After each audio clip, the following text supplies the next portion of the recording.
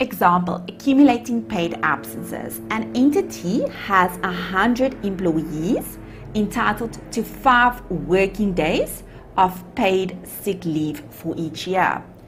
Unused sick leave may be carried forward for one calendar year. Sick leave is first out of the current year's entitlement and then out of any balance brought forward from the previous year. Now, when you think about your recon, remember you will have an opening balance and this will be the amount from your prior year. Then you will have your accrued leave and this is your leave for the current year. And in this scenario, we have 100 employees times the five days. And we have the utilized. Remember, utilized being used in the current year. And this shall result in your closing balance for the current year. Now, they indicate to us that sick leave is first taken out of the current year's entitlement. Therefore, when you look at your recon, sick leave will first be from the accrued leave for the current year. Therefore, we will first use the accrued leave and then from our opening balance. At 31 December 2014, the average unused entitlement is two days per employee.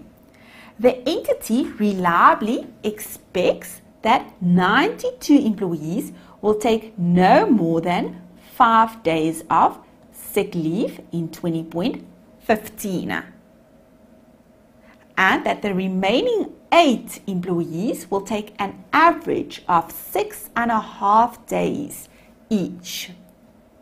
What is the accumulating days the entity expects to recognize at the end of 2014? You will identify that I've included a table on your right hand side. Now, we need to distinguish between the 92 employees and the 8 employees.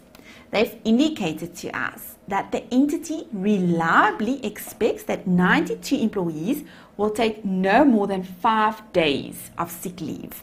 Okay? Now, no more than 5 days of sick leave. Now, if you look at my table, accrued in 2015 will be the 5 days per employee.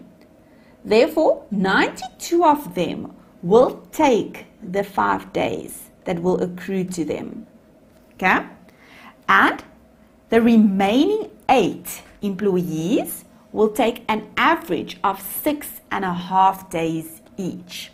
Therefore, our 8 employees will receive 5 days, but they are going to use six and a half days. Okay?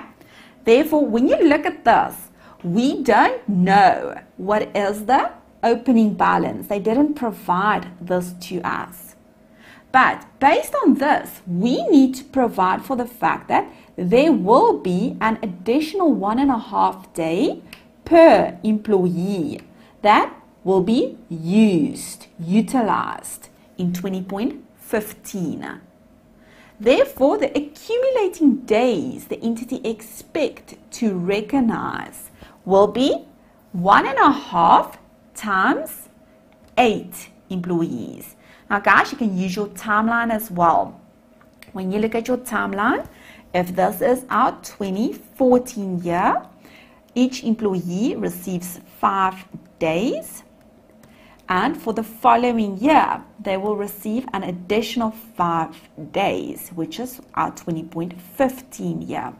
Now, we expect that 92 employees will use five days, and we expect that eight employees will use six and a half days. Therefore, we need to provide for the fact that there will be an additional one and a half days used but the question is actually what is the opening balance? Now the solution to this example is 12 days. Example, non-accumulating paid absences. Mr. X earns a thousand rand per workday as employee benefit. This is based on a 20 workday month on average. Mr. X is entitled to paid sick leave of five workdays per annum. If not taken, the sick leave expires. During the year ended 31 December 2014, Mr. X was sick for three workdays. The year had a total of 206 workdays. Now, if there's a total of 206 workdays, the total salary paid to Mr. X will be 260 times 1,000, and this will be 260,000. Now, they indicate to us that Mr. X was sick for three days, 3,000. Therefore, our journal entry will be debit the salary with a 257000, debit sick leave in our profit or loss being paid out 3000 and credit our bank account with a 260,000.